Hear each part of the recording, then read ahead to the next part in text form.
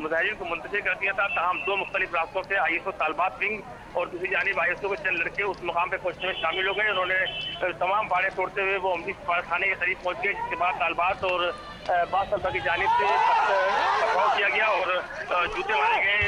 सारे पुराने बोसीदा जूते अमरीकी थाने मारे गए जिससे पुलिस और रजिस्ट्री भाई का पर यहाँ से सोलह तलबा को हिरासत में ले लिया गया और बड़ी तादाद में तलबा को अब यहाँ से मुंतशिर कर दिया गया। तलबा का कहना है कि उन्होंने अपना मकसद पूरा कर लिया है।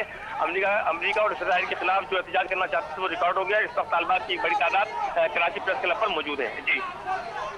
हम देख रहे हैं कि मुजाहरीन ने जो है वो रेंजर्स के इस तमाम तर सूरत हाल में।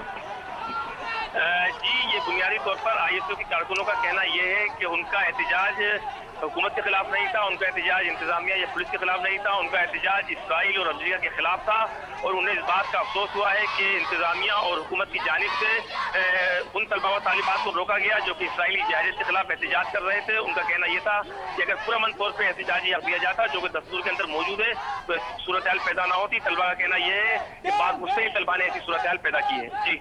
बहुत शुक्रिया आपका अनवर खान। खबरों का सिलसिला जारी रहेगा। यहाँ पर वक्त हुआ है ब्रेक का। हमारे साथ रहिए।